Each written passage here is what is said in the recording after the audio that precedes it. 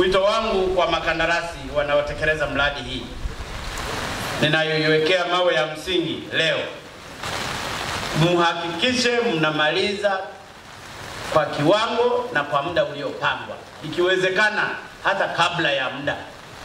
Pesa hizi Watanzania wote wamezitoa bilioni 153. Lengo lao ni kuhakikisha hizi meli na chelezo zinapatikana mapema kwa manufaa ya maendeleo ya Watanzania wote. Napenda pia kutumia fursa hii kutoa wito kwa wanamwanza kujipanga vizuri ili kuhakikisha mnanufaika na miradi mingi inayotekelezwa na serikali katika mkoa wenu.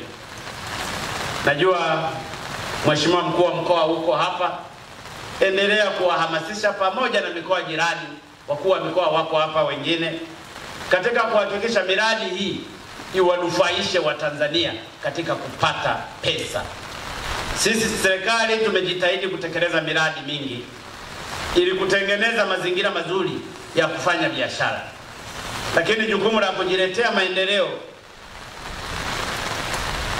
ni- linawahusu ninyi wananchi wa mikoa hii inayohusika.